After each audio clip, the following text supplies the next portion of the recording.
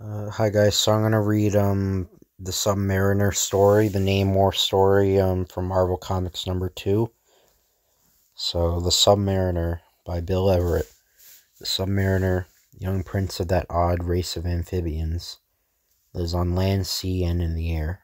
Ventures for the first time to America to wage a war of espionage against the white man. Um, Namor dives from a stolen plane. Along uncharted lanes through the subsea he spurts. Um, what's his destination? Rising suddenly to the surface, he gazes spellbound at New York City's skyline. Cautiously, he swims about the harbor, investigating. Puzzled, he views the docks and looks with wonder at a highly illumined solid looking building at the water's edge. As he slowly treads water, he suddenly feels himself being sucked down and forward, faster and faster toward the building. Um, with superhuman strength, Namor fights the irresistible current, but to no avail. He is pulled rapidly into a great tube. Dazed, Namor continues to struggle violently. With semi-conscious logic, he stretches against or his huge arms, bracing them against the walls of the tube. Straining, he changes position, and with a terrific shove, he's through. A geyser of water bursts into the power hose under the submar submariner's gigantic push. Panic spreads through the powerhouse. Valves are hurriedly turned to stop the rush of water and catapulted high into the girders. Namor looks down on, on the scene uh, of excitement. Look, who's that? What's he doing up there? Frightened by the, their discovery of him, he gets to his feet, but trips on a live wire. The shock infuriates him. Men, by this, thinking it was one of the engineer's tricks to destroy him, he rips a girder from its rivets and hurls it with gigantic force to the startled crowd below him. Girder upon girder, Namor hurls at the machinery and the engineers below him, wreaking te terrible havoc. Faster and faster, his great strength demolishes the plant. Then abruptly he stops and dives through a window just as the roof caves in. Soaring above the city, he flies over a park, Central Park, and spots a body of water. Desiring to be in his natural element again, he drops with the speed of a bullet. Breathe, breathe. But the alarm is out. All over the city, sirens are screaming. On the lake shore, a patrolman sees Namor plunge into the water. He whistles. Namor disregards the warning and draws fire from the policeman. Bullets wang out over the water and ricochet on the surface. Namor dives below, but is curious about the little pellets that come so swiftly from shore. With amazing speed, he reaches into the air and stops a 38 caliber bullet. Uh, below surface again, he examines the little piece of lead, amused at the thought that such an infinitesimal pebble could hope to harm him. Um, then, with fierce, sudden anger, he seizes, he seizes the rowboat containing policeman and oarsman and capsizes it. Like a flash, he breaks through the surface and rockets high in the air, headed for a group of trees bordering Fifth Avenue. I don't think Namor's like spoken yet in this issue. He hasn't said a word, or never mind. Soaring beyond the avenue, he comes to the East River and drops unobtrusively into it.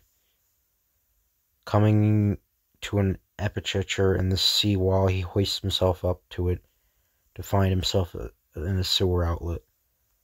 Proceeding inward, he enters a labyrinth of sewage tunnels and uh, comes upon a pensive tramp. Howdy, Tarzan, what brings you here? I fail to see why that's any business of yours. Ah, uh, come on, champ, or come now, champ. Don't get tough about it. Who do you think ye are? Never mind that, just be quiet and do as I say. Take off those clothes. sure, sure, pal. Uh, Yeah, it's weird. Anyway, so some 20 minutes later, arrayed in the unfortunate tramp's garments, Namor searches for an exit. He walks several blocks and sees light coming from above. He climbs a narrow steel ladder and pushes upward in a manhole cover, emerging in the middle of Fifth Avenue. Speeding across the street, he miraculously escapes disaster and avoids the attention of the police. Down a side street he runs. Realizing his need for more suitable clothing, he chooses a, a likely looking house in the 80s. Um, are they talking about the 1880s? This, this comic's really old. This this comic's almost hundred years old, actually. It's uh, this video is made in 2023. Uh, be 10, 13. Yeah, 16 years or yeah, 16 minus or 100 minus 16 uh, nine or 86 years. Maybe. I, I don't know. My math is terrible. I'm sorry. I'm terrible at math. Anyway, what? Is your master in? I must see your master at once. But I say, you can't use this door. The service entrance, sir, is for the likes of you. I must ask you to leave immediately. Let him come in, Pinkerton. He looks all right. Pinkerton, my dress, help or then suddenly as the cigarette touches her skirt. Namor, never having uh, come into contact with fire in his undersea existence, doesn't realize its danger. He leaps, um, and as he reaches the fainting girl, his own clothes are enveloped by flame. But uncannily, the heat brings forth stored up water into his system, and his entire body acts as a sprinkler. Water sports from his pores and drenches both himself and the unconscious girl. Good grief, sir, what happened? Where did the water come from? This is no time for questions, stupid. This woman needs medical attention. Call a physician. While Pinkerton telephones, Namor discards his wet clothing and wraps himself in a silk curtain. I must not be found here when the servant returns, but there is something about this, this girl. I do not like to leave her. Yet I must. The butler is coming. I shall return later. There are riches to be found in this house. I don't know, though. On second thought, I want that girl. Namor leaps to the front of the building, where he sees attendants carrying the girl into the street. He drives on top of the ambulance, where he crouches as it races through the traffic, siren screaming. People sure get excited over an accident, though they, Tom. Do they, Tom? You said it. Hey, officer, look. Breathe.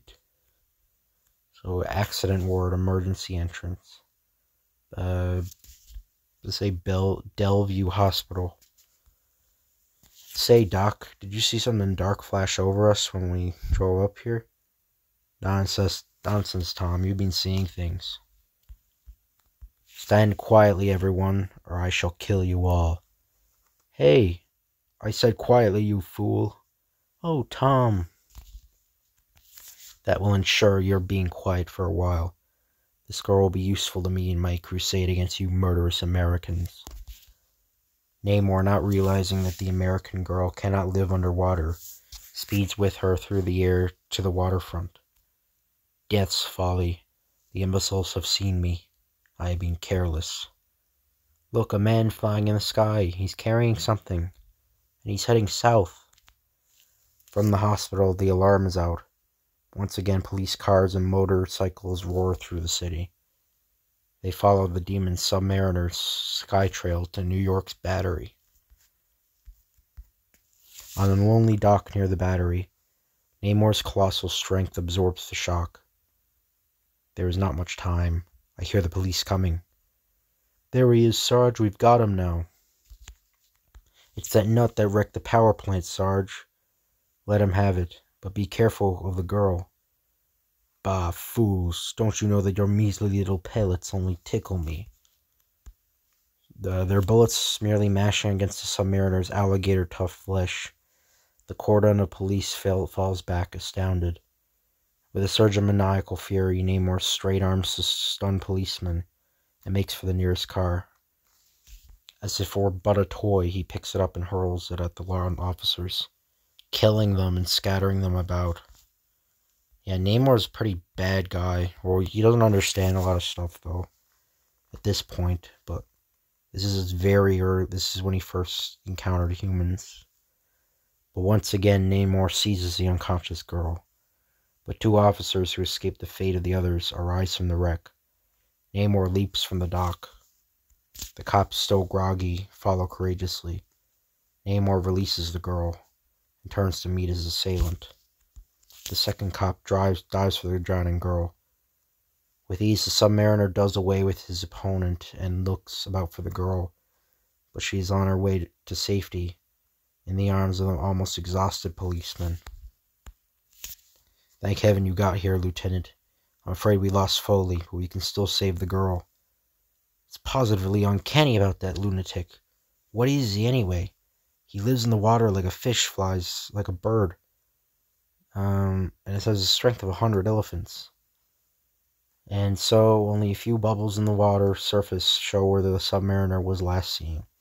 Where will he turn up next? And will he continue his evil deeds? Watch for the next episode. So yeah, that's the end of that um, comic. Uh, I hope you guys enjoy this video. Uh, if you can, like, comment, or subscribe, it'd be appreciated. If you guys want me to read a specific comic, that'd be cool. Like, or just a specific comic, just let me know back down in the comments down below. And I'll see you guys later.